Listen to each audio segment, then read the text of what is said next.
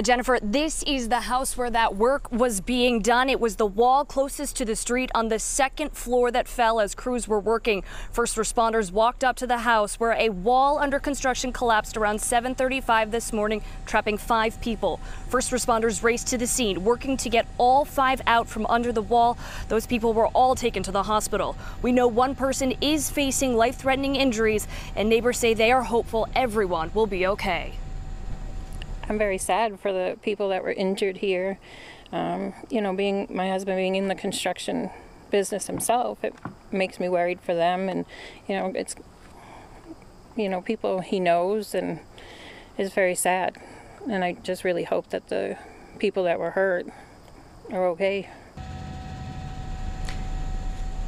Now, the town's building inspector believes the wall collapse may be a result of improper construction techniques. Now, taking you live back out here, we know a Bedford firefighter was also hurt. That firefighter was treated out here at the scene. Now, OSHA will do its investigation to officially determine what caused that wall to collapse. Live in Bedford, Emily Maher, WCVB News Center 5. Emily, thank